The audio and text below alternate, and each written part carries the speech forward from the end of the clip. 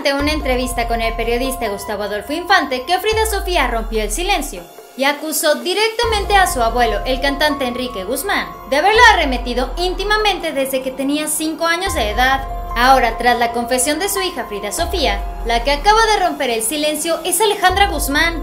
Mediante un comunicado de prensa, la cantante rockera calificó de extrañas las acusaciones de su propia hija, pero sí aseguró que piensa brindarle su apoyo en este momento, asegurando que no lo llevarán a cabo por la vía mediática. Este es el Muro de la Fama y aquí te platicaremos de toda la información. No te puedes perder de este video. ¡Bienvenidos!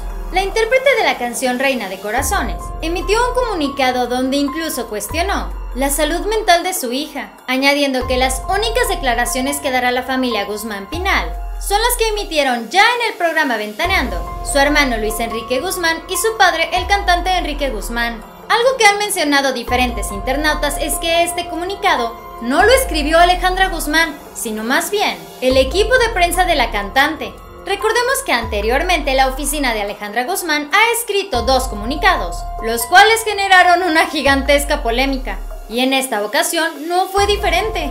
Al inicio de este mensaje podemos leer, hemos estado siguiendo las extrañas acusaciones hechas por Frida Sofía Guzmán en los medios de comunicación durante las últimas semanas. Hemos optado por no responder a través de los medios de comunicación, sino haciéndole saber a Frida Sofía que la amamos, que esperamos que consiga la ayuda para mejorar su salud mental que tan claramente requiere y que estamos aquí con los brazos abiertos siempre que cualquier intención de aclarar y reconciliar se haga en privado y sin la intención de exponerlo en los medios.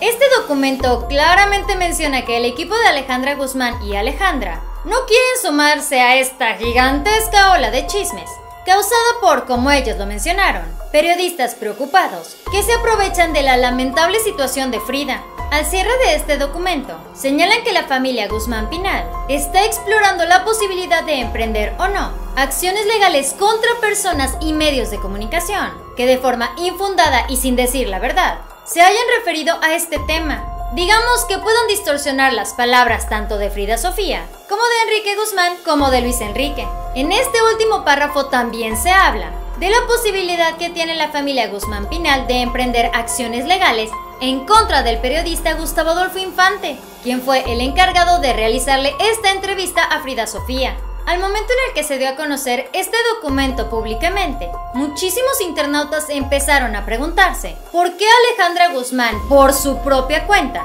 no salió a defender a su padre o a su hija. ¿Por qué razón todos los escándalos que se han estado viviendo en los últimos meses los tiene que hacer a partir de su oficina?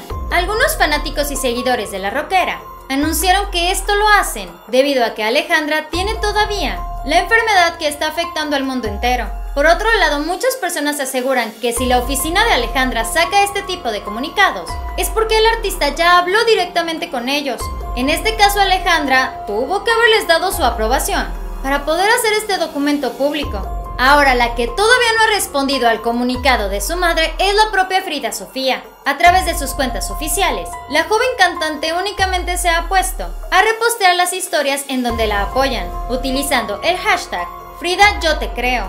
Por esta razón yo te recomiendo que te quedes bien cerquita de nosotros, porque aquí en el Muro de la Fama, con cualquier actualización te haremos un nuevo video. No te vayas sin antes suscribirte a nuestro canal de YouTube dando clic aquí abajo, al igual que seguirnos en nuestra página en Facebook. Para que no te pierdas de las últimas noticias, yo te recomiendo que veas este siguiente video. Espero que tengas un excelente día, nos vemos muy pronto. Bye.